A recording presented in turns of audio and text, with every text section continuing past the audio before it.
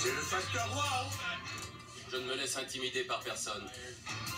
L'argent est roi et le gagnant rafle tout. On ne sait jamais ce qu'on peut trouver.